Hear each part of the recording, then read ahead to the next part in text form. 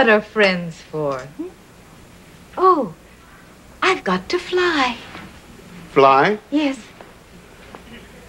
This is goodbye, Benson. Already? Seems you just got here. I still don't understand any of this. You know, you're being here, you're not being here. I don't understand it myself, but I did learn one thing. I am positively not dead. I'm in a coma somewhere in South America. but don't worry, I'll get out of it all right. I always knew you'd find a loophole. I've missed you, Benson.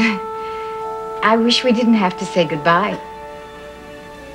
Will I ever see you again? Oh, sure.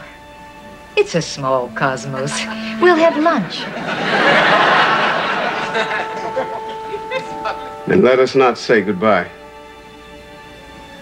Okay. I love you. And I love you.